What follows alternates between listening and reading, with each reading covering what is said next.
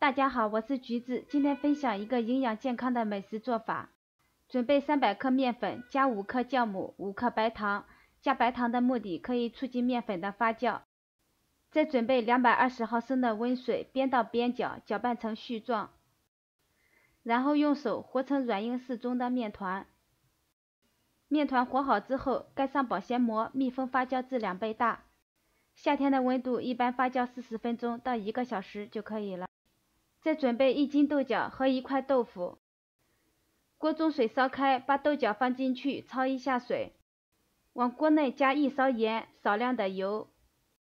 加盐和油的目的，一是为了使豆角更加入味，二是为了使豆角焯水后不变色。豆角变软之后，捞出放凉备用。把豆腐先切成薄片。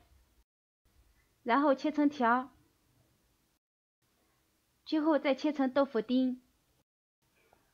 锅中放入适量的油，然后把切好的豆腐丁放进去煎一下。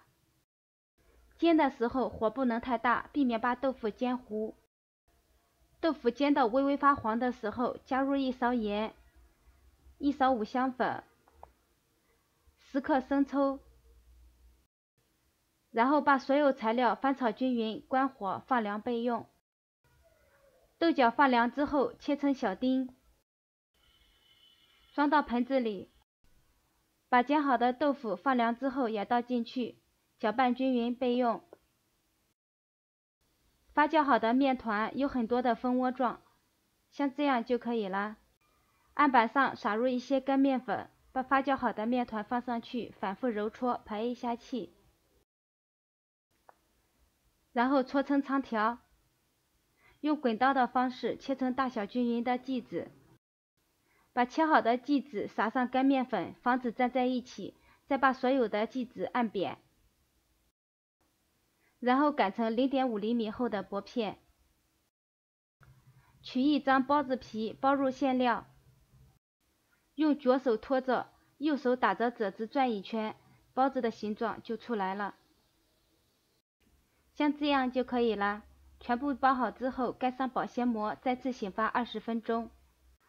二次醒发很重要，这样做出来的包子才会口感好。醒发到变胖，放入蒸锅中，大火蒸十五分钟。关火后焖五分钟，再打开盖子，这样可以保证包子不塌陷。这样做出来的包子营养又健康，比肉包子还好吃，强烈推荐大家试一下。喜欢就关注我吧，下期再见。